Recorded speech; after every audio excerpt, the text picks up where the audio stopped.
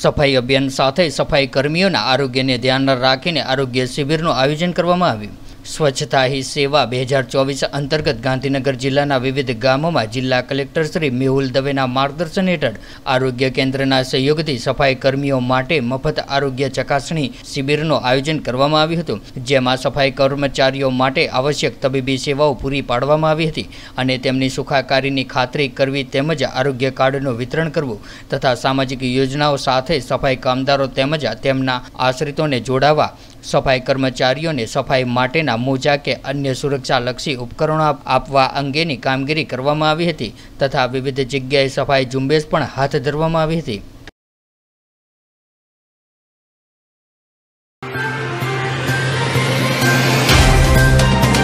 तो WhatsApp Twitter Facebook Insta जहाँ भी आपका अकाउंट है